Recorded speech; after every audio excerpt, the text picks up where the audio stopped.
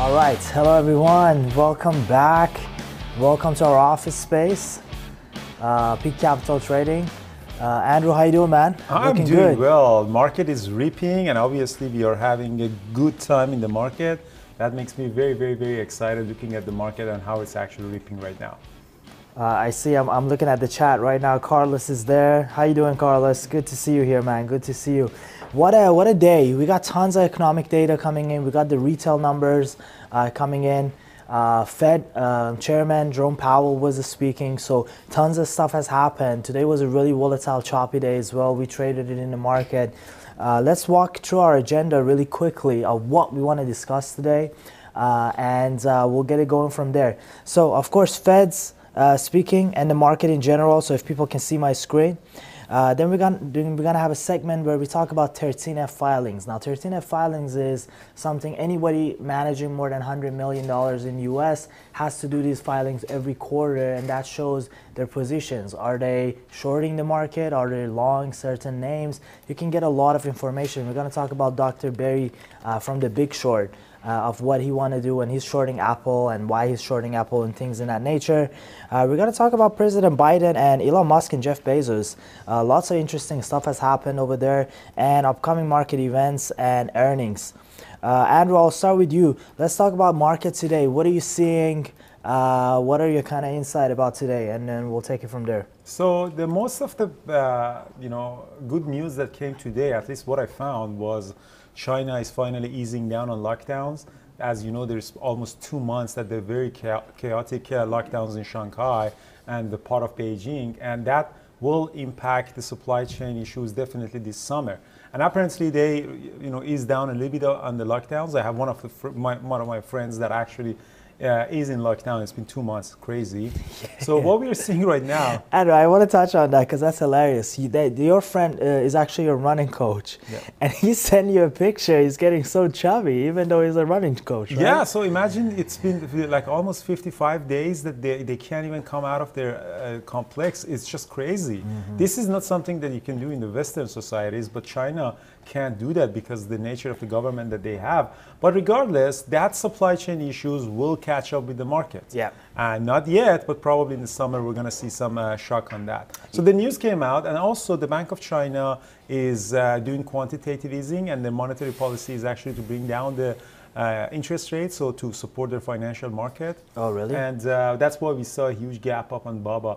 But the question is, can this rally stay? I mean, I was expecting a sell-off later during the day, but apparently it's holding, and uh, there is a little bit of risk-on situation in the market right now. Yeah, we did sell off uh, when when Powell was speaking. Uh, we're gonna get into details of what he said and whether or not market liked it or not, uh, and then we kind of bounced back. So that was that was kind of interesting on why why why we kind of bounced back.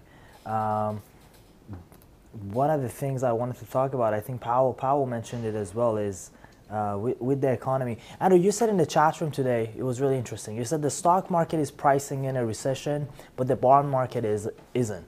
And we've seen that, right? Like stock market, all most of the indices are down 20, 25%, 30%, uh, whereas the yield curve is no longer flat or inverted. So, you, so the bond market has kind of adjusted and has shaken off the, the recession talk, whereas the stock market is very bearish. Do you think we've oversold? Uh, you know, nobody knows. That's a billion dollar question, but definitely market is in oversold condition, but it can't stay in oversold condition for longer. Definitely has overpriced the heavy recession, and uh, because this recession, if it's coming, it's different from other recessions. Yeah. We're having uh, inflation that is very, very consistent. Yeah. I mean, in the past, all we had all of the recoveries in the last 10 years, and the mother of all of the drops was the pandemic, March 2020. But policymakers and Feds could provide a recovery, you know, a great V-shaped recovery. Yeah. But this is different from those ones because right what we're seeing right now is actually the inflation playing a role on that. Yeah, yeah. So that's why I think the stock market has kind of overpriced a recession. Maybe we don't go into a deep recession, but there are definitely talks of recession. Yeah, yeah, definitely. Uh, feel free if you if you got a question for myself and Andrew, feel free to use the chat function. We're monitoring it really closely. Uh, so uh, ask us a question.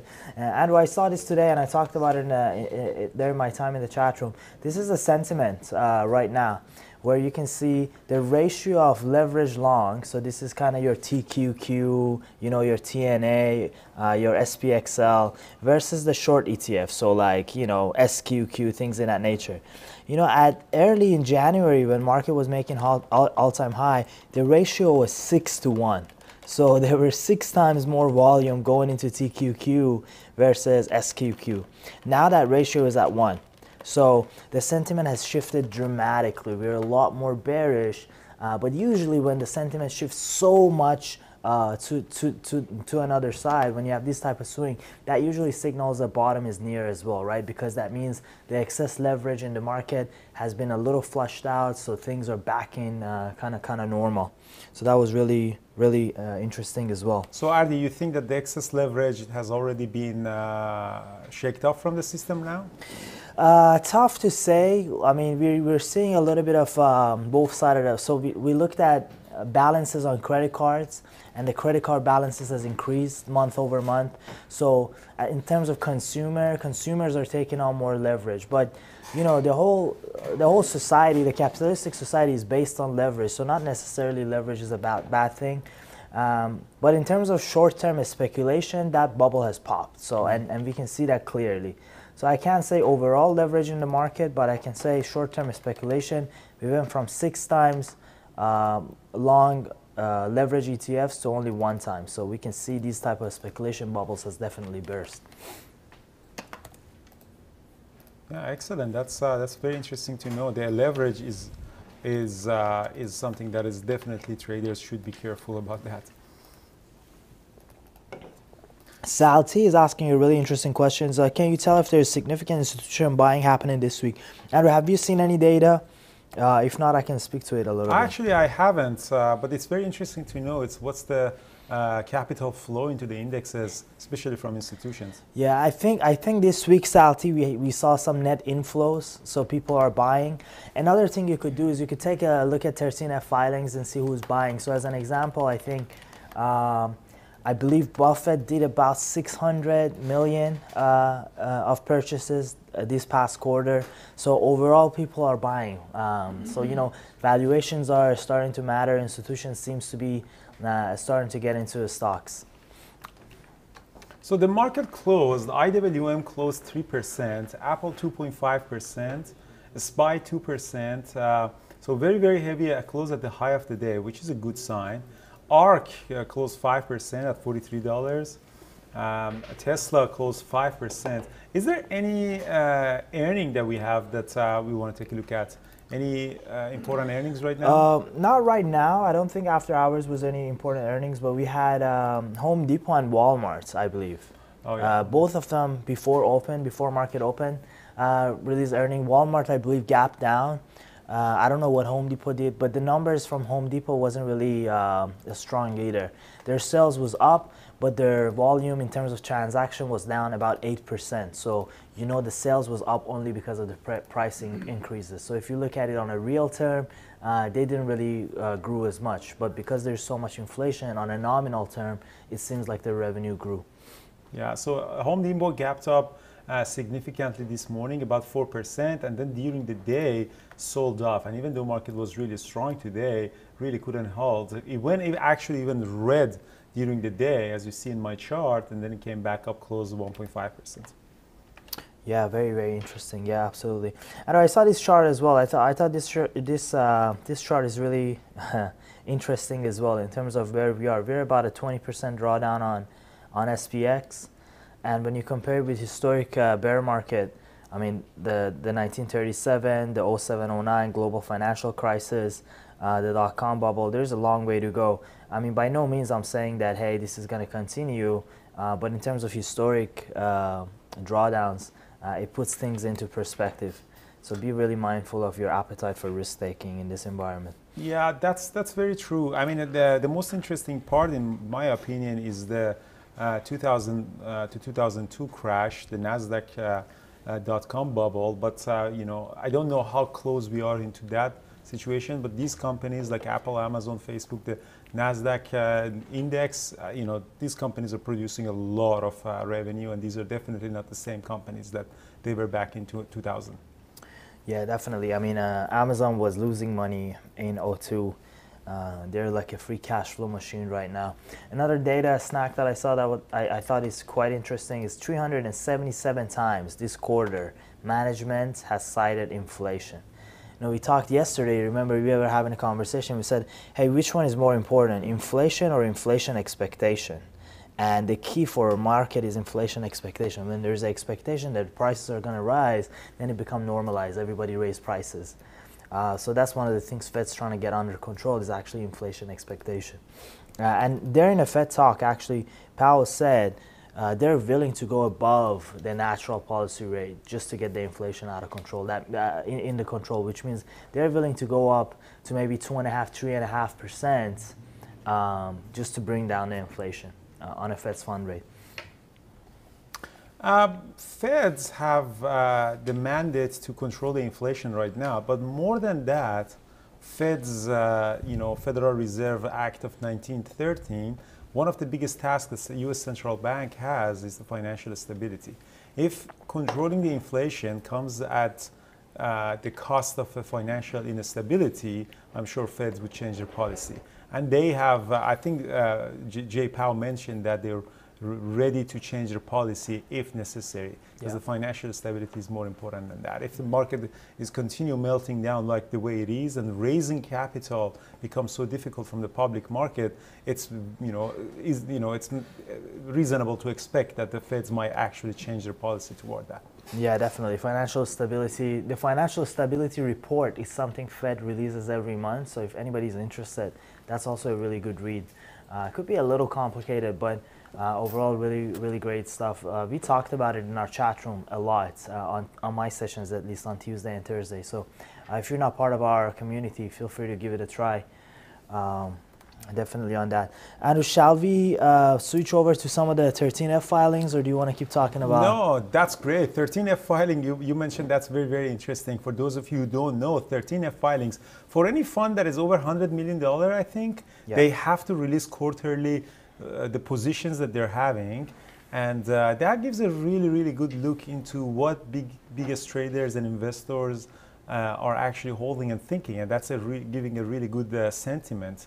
And Adi, you know, Michael Burry, Dr. Michael Burry, for those of you who don't know him, he was the first person who uh, found that there's a bubble in the housing market and created th- those credit default swaps to actually short the housing market back in 2006. Yeah. So, you know, he's a very famous short seller. He has uh, shorted Tesla before many times, a couple of times, and, you know, uh, he's a very controversial person. So, Adi, you want to talk about his 13F filings? Yeah, yeah. I mean, some of the interesting information that I got from this 13F filing is about 18% of his pro, uh, portfolio.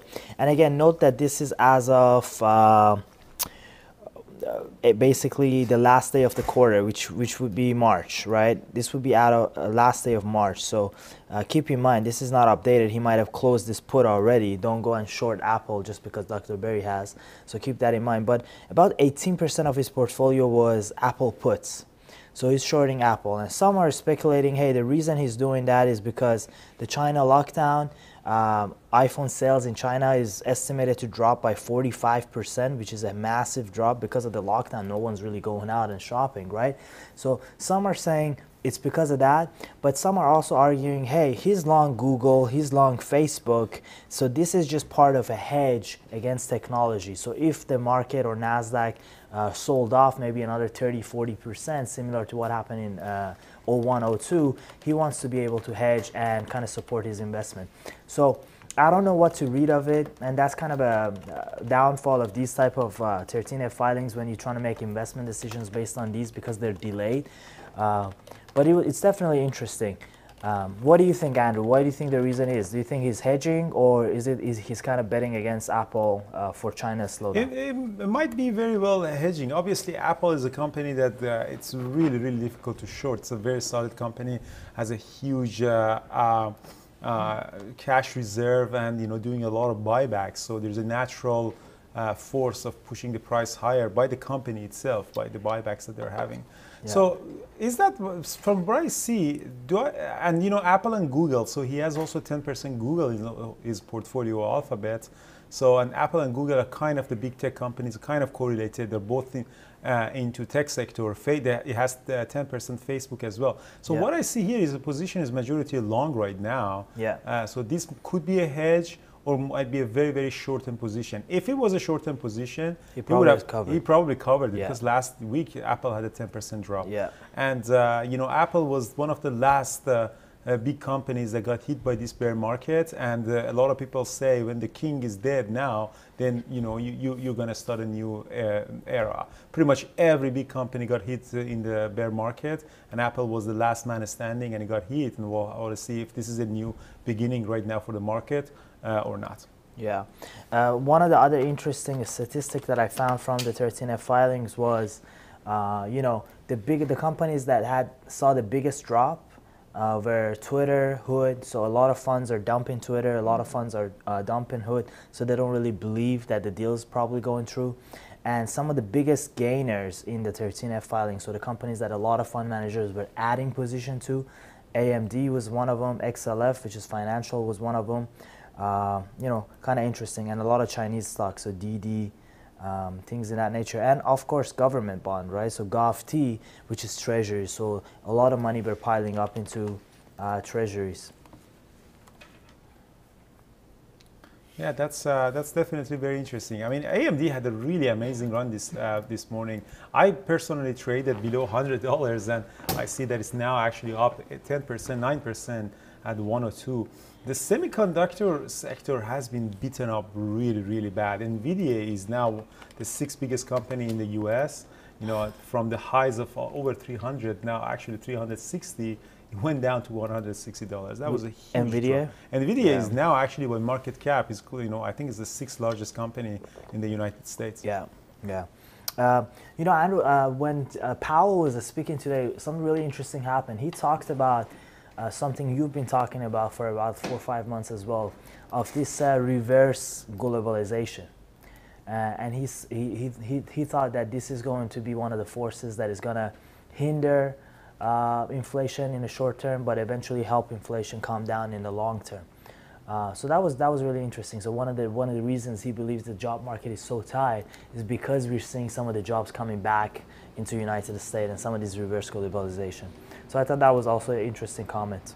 I think the you know the global economy in the next five years definitely move toward the reverse globalization, because uh, you cannot afford this situation again that a country just shut down the you know uh, natural gas pipes or electricity to you, or China locks down the whole country and affects everywhere in the world. Yeah, no, I definitely agree.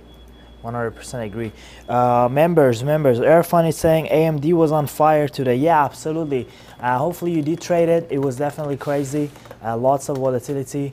Uh, it's nice to see a little bit of uh, kind of bounce in the semiconductors. They were extremely sold off. Uh, I know some of our developers here, uh, you can see them behind Andrew. They were buying some SOXL for their long-term portfolio. They were not having a good time. Uh, so I'm glad they did it. Hey, Richard, welcome. Uh, John is here in the chat. John, hope you're doing well. Yeah, so uh, if you want to know, um, you know, a lot of this information, we're actually posting it on tradingterminal.com. We recently have uh, this update on it. So, you know, the, the charting is, has been updated. And uh, let me actually connect to my account with that. The charting has been updated on uh, Trading Terminal. So for those of you who are interested to get a little bit of access to some of the information that we are having is, uh, um, you know, looking into uh, our trading terminal. Uh, Andrew, can you take a look at uh, Walmart uh, on your on your trading terminals? Uh, someone's asking about Walmart, saying, Uh, "What are your thoughts on Walmart price action today, considering historic sell-off?" So yeah, so definitely, let's take a look at Walmart uh, price action on the five minute. Let's see what we are having. So Walmart sold off heavily, yeah. and it's down 11% actually. That's a very, very interesting. So Walmart is down 11%, and on a daily chart, what? Let's take a look at the weekly chart or daily chart. Um, yeah, it's gap down. Walmart is, was one of the companies that actually had uh, Uh, whereas it was at all-time high, even Yeah. though we had this uh, inflation situation, it was at all-time high. But right now we're seeing is 11% down. I don't know exactly what happened uh, for the earning, but uh, it's back uh, to the January 2021. I think yeah, it lost the gains the, the whole last year. That's that's really a little bit of a big drop. Yeah, I think um, I don't know. I didn't actually take a look at the earnings, but uh, the, what what caught my eyes was that the market was expecting kind of a five percent move for Walmart, the option market, and the move was actually about ten percent. So uh, if you had a straddle on Walmart, you would have made money, which is really shocking because usually these uh, staple names don't move as much. Uh, but that was interesting, and kind of finished the day near low of day. Uh, so uh, very interesting.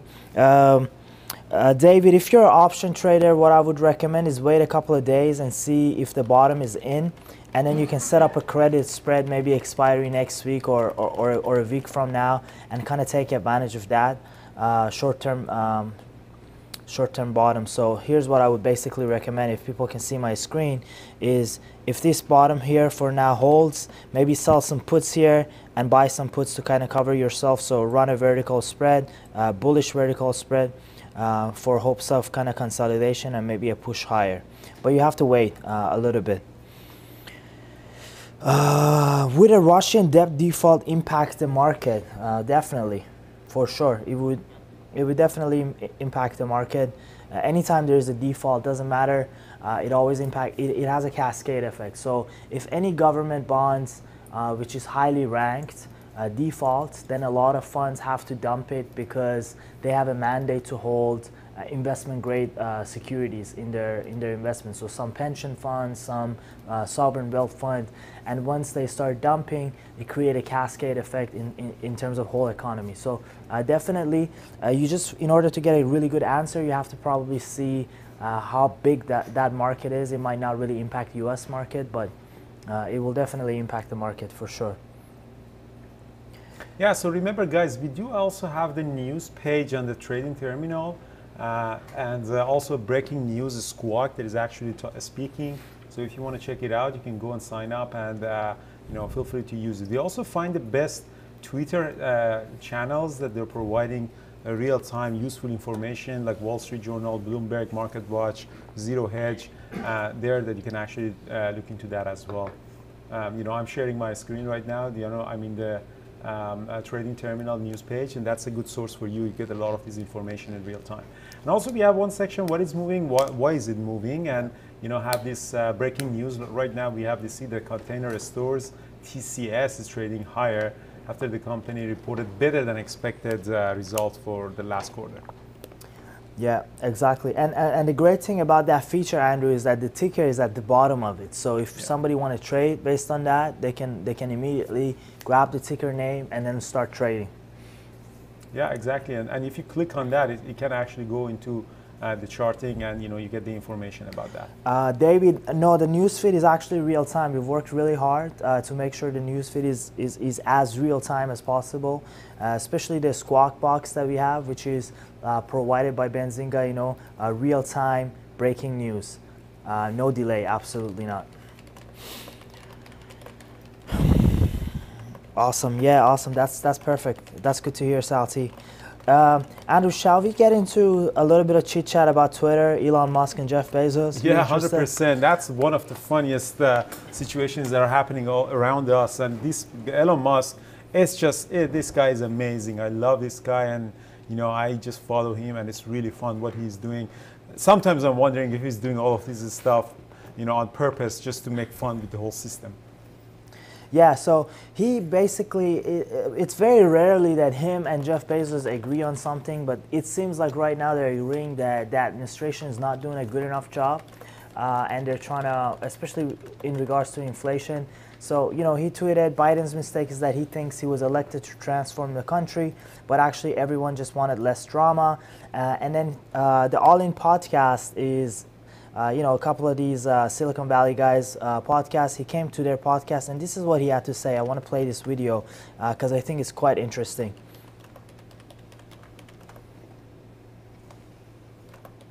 Let me see if I can get the.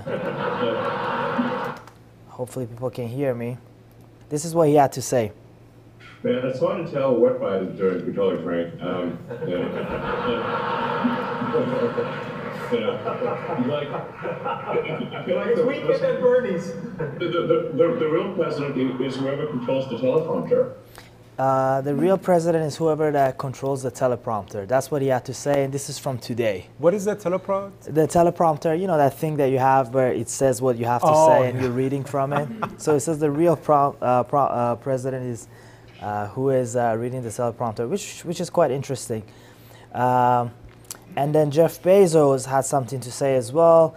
Uh, you know, President Biden said you want to bring down inflation. Let's make sure the wealthy corporations are paying their tax, their fair share.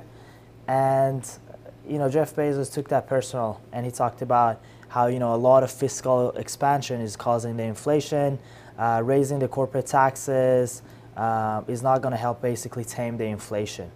Yeah. So what he essentially mentioned that you should not take the very serious issue like inflation that is hurt mostly the middle class and make it political. Yeah. Like for example, because the inflation is high, then let's start taxing the rich and taxing the successful corporations. What Jeff Bezos was saying that these two issues are equally important, but connecting this together and giving this impression that taxation of the corporations actually bring down the um, inflation is not a correct argument, and it should be flagged as miscorrect information as someone that is uh, publishing by Twitter. by Twitter. Yeah, because Twitter does that, right? Twitter does it that. Like for example, vaccines yeah. and you know a lot of uh, other stuff. If you they have the fact checkers, they're working with some fact checkers website. Yeah. And what they do is they say, you know, this is.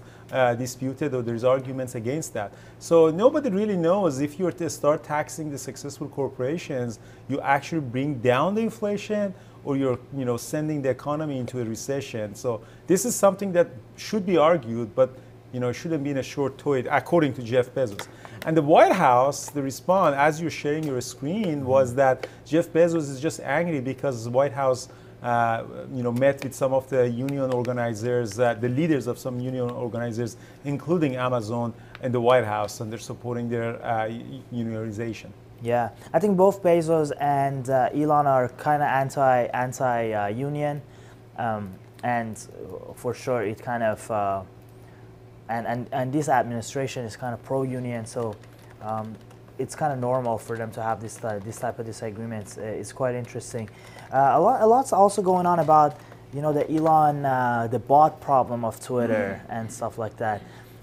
Andrew, what, what is your thoughts? My thinking is it's, it's kind of bizarre for me because, hey, have you not done any type of due diligence before committing 45 billion of capital? It's something maybe the bankers should have done for you. The analysts maybe know how much uh, bot problem there is.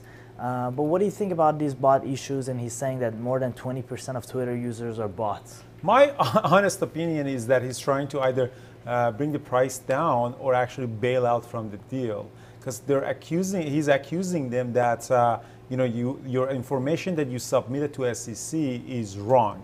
Yeah. You know it's more than five percent, and now he's throwing a very very dangerous ball at Twitter. In my opinion, again, nobody really knows what's happening in his mind.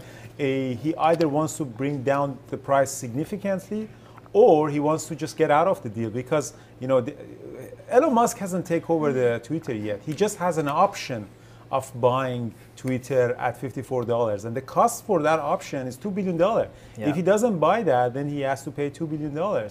So now he's coming up with an excuse not to buy Twitter and say you guys lied about the number of the active users, which does impact the valuation of your company. Yeah, uh, that's my opinion. I think it might not be successful, especially the, you know you you see the price of Tesla has dropped significantly. It's trading now uh, below eight hundred dollars, and yeah. that's very very dangerous for Elon Musk because he wants to get the loan from uh, Tesla shares. So I think one of the very big issues that we are seeing here is that he wants to bail out or he wants to bring down the cost significantly. Yeah. But as you mentioned, I think he he's a smart guy. He probably would have known something like that, but he would just want to use that card right now. Yeah, yeah, it's very interesting. I, I asked him on Twitter, uh, and you know he's, he's a very popular person. I asked him on Twitter, haven't you done any type of due diligence uh, before committing 40 billion? uh, you you would assume you should have. And then people got so angry at me, uh, thinking that I like I want to bring Elon down. No, it was just a simple question. But the stock has gave back all the gains. So currently trading at 38.18. If you think the deal is going to go through, here's some free money for you. The deal price is 54.20, so this is like a 25% jump uh, if the deal actually goes through, kind of an arbitrage. But obviously, market is saying there's no way that this deal would go through at 54.20. That's at least what the market is saying. Uh, which is quite interesting.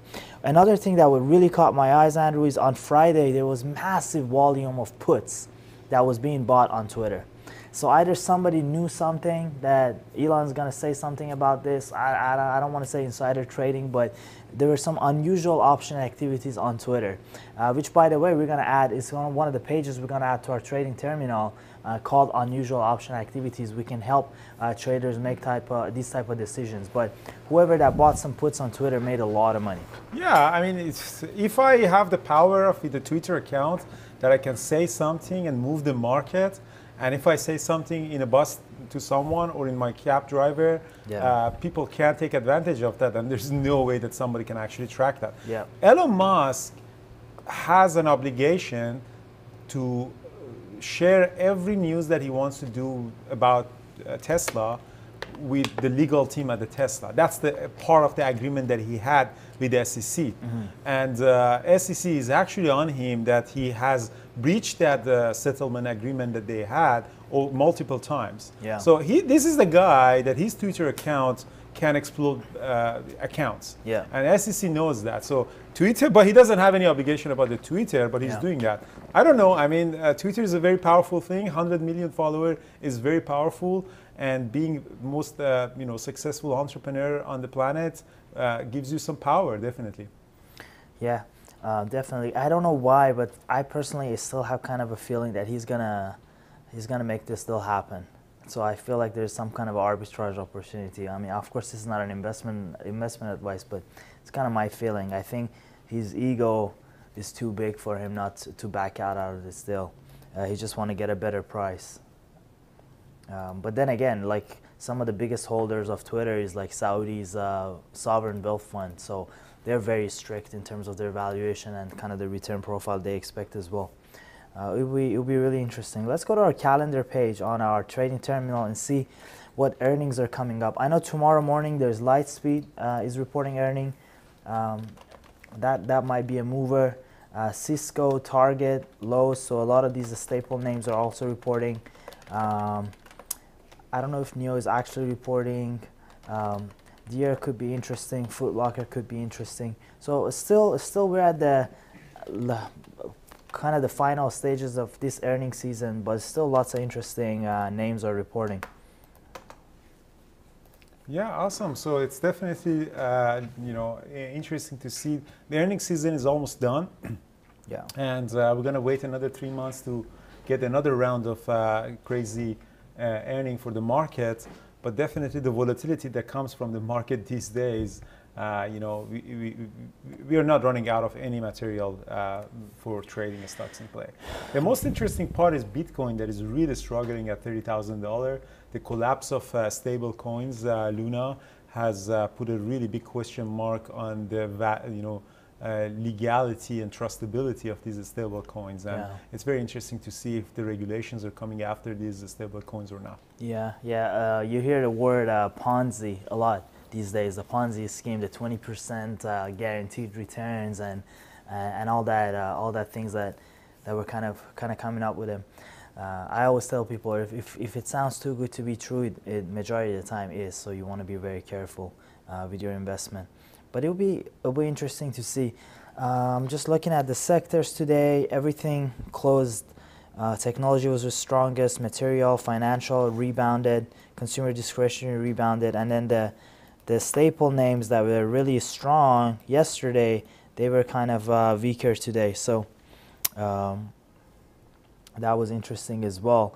Uh, so these type of uh, sessions we want to do them three times a week on Tuesday, uh, Wednesday and Thursday, right before the market close. If there's an earning, we're going to talk about earning. If there is any news coming out, like Fed's talking, things in that nature, we're going to spend a lot of time discussing them. So if you're a trader, you're an investor, a market participant, uh, you're going to get a lot of value out of it. Make sure to subscribe to our channel, uh, turn on the notifications so you get notified.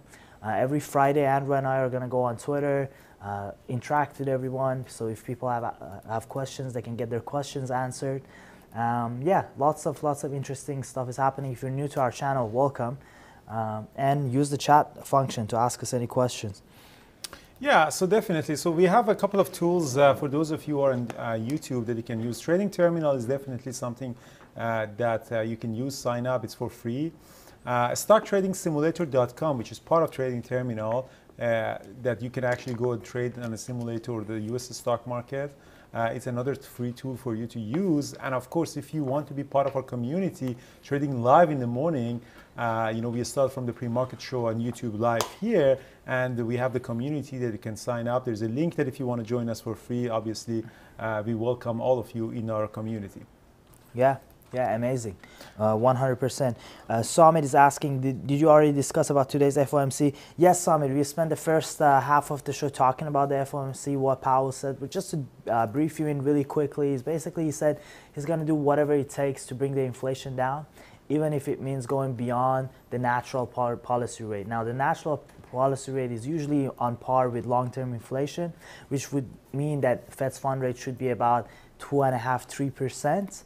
Uh, but he said he's willing to go beyond that. So that was kind of a hawkish. The market sold off a little bit, uh, but then it, it, it, rebounded. He also talked about employ, uh, employment and he said the labor market is too tight. He wants a little bit of slack. So uh, basically, inadvertently, he said he's okay with people losing their job a little bit just to cool down um, the market, the, the job market.